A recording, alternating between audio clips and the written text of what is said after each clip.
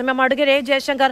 ദാ ആ റിപ്പോർട്ട് കൂടി കളക്ടറുടെ റിപ്പോർട്ട് കൂടി പുറത്തു വരികയാണ്. നബീം ബാബു ആറ് ദിവസം മാത്രമാണ് ആ എൻ ഒ സിയുടെ ഫയൽ കൈവശം വെച്ചിരുന്നത്. ഈ അനുമതി കൊടുക്കരുത് അതിനുള്ള കാരണങ്ങൾ ചൂണ്ടിക്കാണിച്ചുകൊണ്ടുള്ള രണ്ട് ഫയലുകളാണ് അദ്ദേഹത്തിന്റെ കയ്യിലുണ്ടായിരുന്നത്. തീർത്തും നെഗറ്റീവായ ഒരു സാഹചര്യത്തിൽ കൃത്യമായ പരിശോധന നടത്തി അതിൽ തീരുമാനമെടുക്കാം എന്ന് മാത്രം വിചാരിച്ചിരുന്ന ഒരു ഉദ്യോഗസ്ഥൻ എന്നുള്ളൊരു ക്ലീൻ ചിറ്റ് നൽകുന്നത് കണ്ണൂർ ജില്ലാ കളക്ടർ തന്നെയാണ്. എത്രത്തോളം അനീതി അല്ലേ? തീർച്ചയായിട്ടും വലിയ അനീതിയാണ്. വലിയ അക്രമമാണ് അവിടെ സംഭവിച്ചെന്നുള്ള കാര്യത്തിൽ ആർക്കും ഒരു സംശയം ഉണ്ടാവില്ല. അത് സഖാവ് എം വി ജയരാജന് പോലും ആ കാര്യത്തിൽ സംശയമില്ല എന്നാണ് എനിക്ക് തോന്നുന്നത്. അപ്പൊ അങ്ങനെ തികച്ചും അടിസ്ഥാനരഹിതമായ ഒരു ആരോപണം അതും വളരെ സത്യസന്ധനായ ഒരു ഉദ്യോഗസ്ഥനെതിരായിട്ട് ഉന്നയിക്കും. അതുവഴി അയാളുടെ മരണത്തിന് കാരണക്കാരിയാവുകയും ചെയ്തു എന്നുള്ളതാണ്. അതും ഉത്തരവാദിത്തപ്പെട്ട ഒരു സ്ഥാനം വഹിക്കുന്ന പൊതുപ്രവർത്തകർ അവർക്ക് യാതൊരു കാര്യവുമില്ലാത്ത ഒരു മീറ്റിംഗിൽ വലിച്ചു കയറി ചെന്നു. അതിക്രമിച്ച് കിടക്കുന്നു എന്നാണ് കൂടുതൽ ശരി. ക്ഷണിക്കപ്പെടാത്ത അതിഥി എന്ന് പറയേണ്ട ആവശ്യമില്ല. അവരവിടെ അതിഥിയുമല്ല ആതിഥേയമല്ല. അവർക്ക് അവിടെ യാതൊരു റോളുമില്ല. കളക്ടറുടെ ജീവനക്കാരന് തികച്ചും സ്വകാര്യമായ അല്ലെങ്കിൽ അർത്ഥ ഔദ്യോഗിക ചടങ്ങിൽ അതിക്രമിച്ച് കയറി. അത് വീഡിയോഗ്രാഫർ സഹിതം അതിക്രമിച്ച് കയറി. അവിടെ അടിസ്ഥാന അടിസ്ഥാനരഹിതമായ ആരോപണങ്ങൾ ഉന്നയിച്ചുകൊണ്ട് തികച്ചും അസ്ഥാനത്തുള്ള ഒരു പ്രഭാഷണം നടത്തി ആ, നമ്മളെല്ലാവരെയും ധന്യരാക്കിയെന്ന് മാത്രമല്ല അതിന്റെ വീഡിയോ കൃത്യസമയത്ത് മുഖ്യധാര മാധ്യമങ്ങൾക്ക് എത്തിച്ചു കൊടുക്കുകയും ചെയ്തു.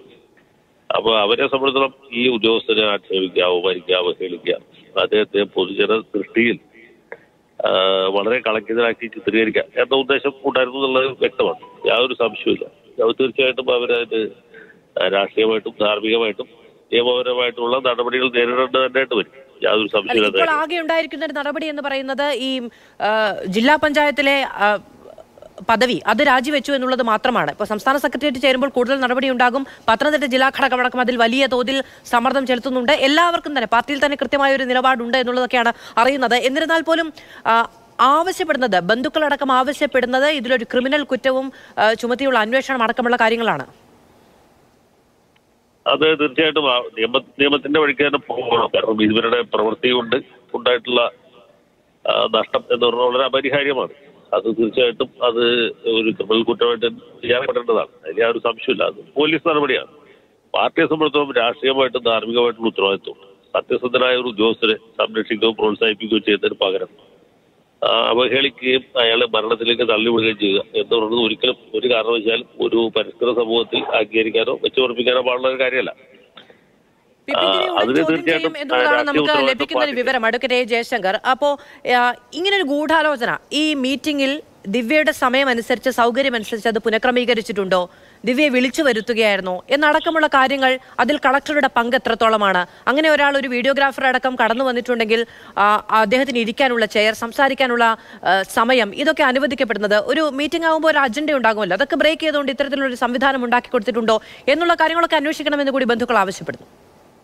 അല്ല തീർച്ചയായിട്ടും അങ്ങനെ ഒരു സംശയം അസ്ഥാനത്താണെന്ന് ഞാൻ വിചാരിക്കുന്നില്ല. കാരണം എന്താ വെച്ചാൽ അങ്ങനെ വരികയറി കയറി വരുന്ന ആളുകൾക്ക് പ്രസംഗിക്കാനുള്ള ഒരു വേദിയല്ലല്ലോ. കളക്ടറേറ്റിൽ ഒരു യാത്രയപ്പ് ചടങ്ങ്. ഇപ്പൊ ഞാനോ നിങ്ങളോ ഒരു യാത്രയുടെ ചടങ്ങിൽ ചെല്ലുകയാണ്. എങ്കിൽ ഒരുപക്ഷെ മര്യാദയുടെ പേരിൽ നമുക്ക് സദസ്സിലോ വേദിയിലോ ഇരിക്കാനൊരു കസര കിട്ടിയേക്കാം. അതിനപ്പുറത്ത് ഇതുപോലെ അടിസ്ഥാനരഹിതമായ ആരോപണങ്ങൾ ഉന്നയിച്ചുകൊണ്ട് ആസ്ഥാനത്ത് ഒരു പ്രസംഗം നടത്താൻ അനുവദിക്കുന്നത് ശരിയല്ല. ഒരുപക്ഷെ കളക്ടർക്ക് അറിയാമായിരുന്നില്ല. ഇവർ ഇതാണ് പ്രസംഗിക്കാൻ പോകുന്നത്. എന്ന് അറി അറിഞ്ഞിരുന്നില്ലല്ലോ. ജില്ലാ പഞ്ചായത്ത് പ്രസിഡന്റ് ഞാൻ മീറ്റിംഗിൽ പങ്കെടുക്കുന്നുണ്ട്. അവിടെ എത്തുന്നു എന്ന് അറിയിക്കുന്നു ആ കളക്ടർ അദ്ദേഹത്തിന് വെറും മാന്യതയുടെ പേരിൽ മര്യാദയുടെ പേരിൽ അവർ വഹിക്കുന്ന പദവി ഉത്തരവാദിത്വം ഒരു നിർത്തി അവർക്ക് ഒരു കസേര കൊടുക്കും. സംസാരിക്കാൻ അവസരം കൊടുക്കുകയും ചെയ്ത് നമുക്ക് മനസ്സിലാക്കാം. പക്ഷെ ഇവർ ഇതുപോലെ അധിക പ്രസംഗം നടത്തി എഴുന്നേറ്റ് പോകുമ്പോൾ അദ്ദേഹത്തിന് വലിയ ഉത്തരവാദിത്വം ഭാരിച്ച ഉത്തരവാദിത്വം. എന്താ അറിയോ അവിടെ പറയണം ഈ സ്ത്രീ പറഞ്ഞ ശുദ്ധ അസംബന്ധമാണ് ബോഷ്കാട് എന്ന് വിളിക്കുന്നത് നമുക്ക് എല്ലാവർക്കും അറിയാം. നമ്മൾ അറിയുന്ന നമ്മൾ സ്നേഹിക്കുന്ന നമ്മുടെ സഹപ്രവർത്തനം ഇങ്ങനെ ഒരാളെ അല്ല. അദ്ദേഹത്തിന് ഉണ്ടായ മനോവേദനയിൽ ഞാനും പങ്കുചേരുന്നു.